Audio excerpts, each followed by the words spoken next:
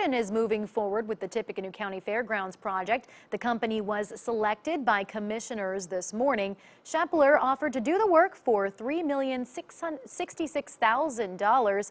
Commissioner Dave Byers is happy with their decision.